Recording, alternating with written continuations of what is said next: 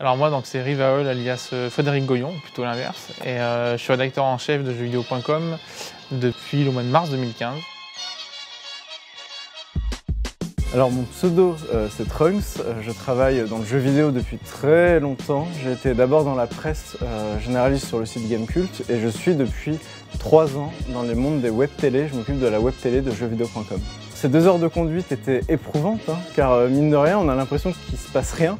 Mais comme on discute et qu'on est un peu interviewé euh, pendant tout le trajet, il faut rester concentré pour pas sortir de la route. Et en plus, petite pression, car on sait que si on arrive au bout à l'objectif sans se cracher, on va avoir un petit bonus euh, sur la donation, puisque l'association donne 250 euros en plus. Donc très bien, pas de crash. Euh, C'était la mission principale. Je suis un peu dégoûté parce que j'ai pas eu de moustique. Alors que l'année dernière, ça a été le moment fort, j'ai eu une moustique. Et euh, bon, j'espérais l'avoir à nouveau, mais là j'ai eu la nuit. Donc tu vois, c'est un peu mon, mon succès de l'année. J'ai toujours trouvé ça très bien, donc j'y suis allé l'année dernière.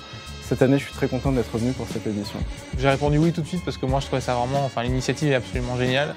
C'est marrant parce que moi-même je trouve ça un peu épuisant, tu vois, de, de conduire un truc pendant deux heures, ça fait 60 heures qu'ils sont dessus. Je suis assez admiratif. C'est vrai que je suis vraiment super content parce qu'on a récolté 5000 euros en deux heures. C'est vraiment un très très gros score. Je pense que ce qui a aidé, c'est évidemment le cadeau. Parce que je suis venu euh, avec un gros cadeau dans les mains, j'avais une Xbox One X. Forcément, ça, fait, ça intéresse les gens et comme il y a possibilité de gagner en faisant des dons pour des petites sommes, eh bien, il y a beaucoup de gens, je pense, qui ont voulu participer. Et on a joué aussi sur la mécanique. euh, sur la mécanique, on va dire, de provoque, de troll, parce qu'en fait, on, a autorisé les gens, en gros, à foutre un petit peu le boxon sur le chat de la JVTV, qui est la web télé que je gère, pendant 15 jours, si on, si on atteignait un certain palier de dons. Donc je pense qu'il y a des gens qui, m'aiment bien ou qui m'aiment pas, qui veulent me taquiner, qui ont fait des dons exprès pour pouvoir me chambrer ensuite pendant 15 jours. Honnêtement, euh, si c'est pour avancer ce genre de cause-là, je, refais le deal tous les jours. Alors, personnellement, je connaissais pas forcément très bien la sauce Les Petits Princes. Moi, je suis vraiment impressionné par le taf qu'ils font et par l'initiative aussi, car c'est une initiative originale, comme je l'ai dit dans le stream.